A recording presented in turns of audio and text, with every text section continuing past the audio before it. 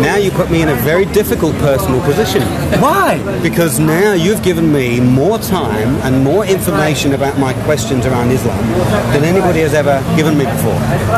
So now you put me in a very difficult position because I can't plead ignorance anymore. I must embrace God and, and His one path or be damned. Just that in the earlier conversation, you say that I'm talking from my heart to your heart, and this straight to your heart. And I believe that you can feel that in my heart, I'm praying that, that you will embrace and submit to the will of God. You, you know that deep in my heart, I'm praying. That's I'm why praying you're spending so much time with me. Yes, Maybe you've saved one soul today. Yes, and it's you. And that man is you. I'm not trying to put you into a difficult situation and I'm not going to force you because in Islam it clearly says La ikraha fidin. There's no compulsions in religion. I could not force you to become Muslim. I have do my best. And that's why I keep on asking you anything that you still dislike that I could not answer you. And I mean that still stop you from becoming a Muslim um, to submit to God. I believe I already have submitted to God. I'm doing God's work. I'm here talking to you because I've felt force to change direction. And when your friend smiled at me and reached out, I thought, I'm going to stop and talk to this guy. So I, I'm, I'm being led. Exactly. Do you know the easiest way of being a Muslim? It's just that what you believe in your heart is that you manifest it.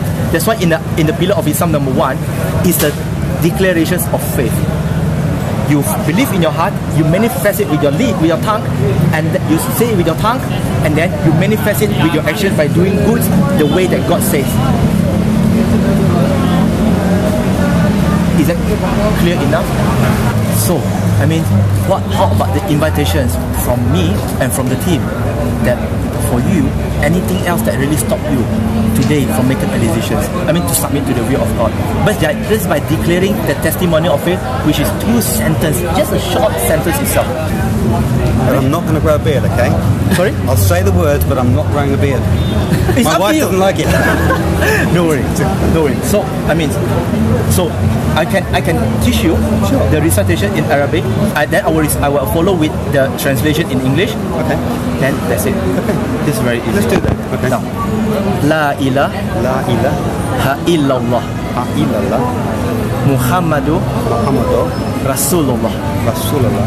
I bear witness I bear witness there's no God there is no God worthy to be worshipped worthy to be worshipped except Allah. except Allah. And Prophet Muhammad, And Prophet Muhammad, may peace and blessing be upon him, may peace and blessing be upon him, is the last and final messenger of God. is the last and final messenger of God. Allahu Akbar.